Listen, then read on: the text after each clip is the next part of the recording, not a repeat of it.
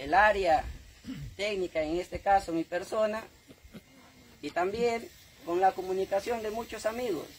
Uno de ellos, Edita, quien ya es una beneficiaria del proyecto, y fue ella quien manifestó en qué zonas los técnicos anteriores que me sucedieron habían trabajado.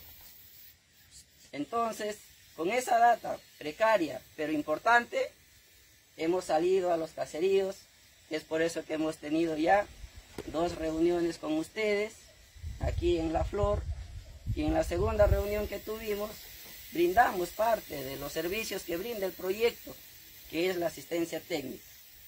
La asistencia técnica que va a mejorar las capacidades técnicas productivas de ustedes, los productores, aquellos hombres de campo que dedican su día a las actividades agrarias y pecuarias. No quiero explayarme mucho, pues tenemos un programa que cumplir y actividades que realizar. Muchas gracias.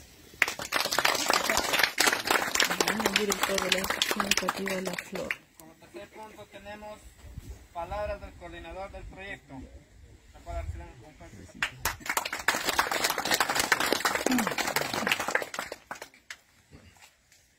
Bueno, buenos días. Eh, agradecerles a, a las damas, caballeros, jóvenes y también niños presentes en este evento.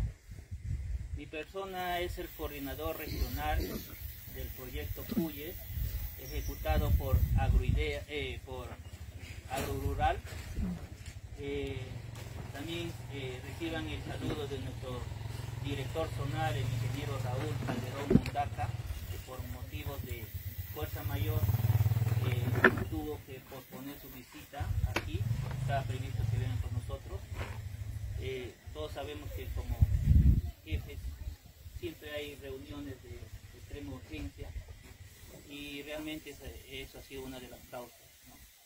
Eh, bueno, el motivo de esta pequeña reunión es para que ustedes, como beneficiarios del proyecto, reciban este kit de material didáctico para que ustedes entiendan cómo trabaja ahora el Estado. Puede ser los ministerios, los gobiernos regionales, las municipalidades provinciales o distritales. Ellos tienen la opción de apoyar a sus, en la parte pública, mayormente a sus, a sus pobladores, pero con proyectos de capacitaciones y asistencia técnica. ¿no? Nosotros como gobierno solo tenemos la potestad de enseñarles y capacitarles y asistirles en lo que ustedes están haciendo. Puede ser crianza de animales menores, puede ser los cultivos que ustedes manejan, café, cacao, ¿no?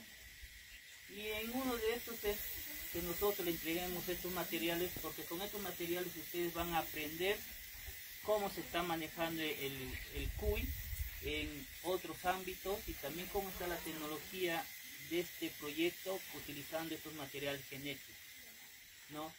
Eh, estos realmente son la implementación de modos demostrativos para que el ingeniero, para que el, técnico eh, Ronnie, ahí ustedes van a ver cómo es el manejo de la alimentación, el manejo sanitario, la limpieza que debe tener los cuyes, la utilización de sus vitaminas y en caso de emergencia sus antibióticos, cómo se debe manejar el balcón, el ambiente, si hace calor se tiene que ampliar las ventanas, si hace frío hay que abrigarlo, esas son condiciones. Por eso nosotros le estamos entregando un pequeño hidrotermómetro que va a medir la temperatura y de acuerdo a eso vamos a hacer este tipo de regulaciones. Ustedes van a recibir 30 cuyes hembras de alta calidad genética que viene de Linía, de los baños del Inca.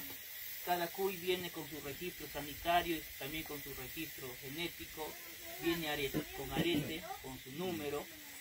Aparte van a recibir 15 machos de alta calidad genética que están acá, con el cual en el tiempo que a hacer el empadre, ahí, ustedes van a aprender cómo se hace el empadre. Están recibiendo una balanza, que esto les va a servir para que hagan el peso al momento de nacer los, los, cuyes, al momento de ser destete y al momento de ser de empadre. También al momento de, los, de la evaluación de cómo va creciendo el cubo. Deben salir al, al mercado entre dos meses y medio a tres meses de kilo y kilo 100 de peso, ¿no?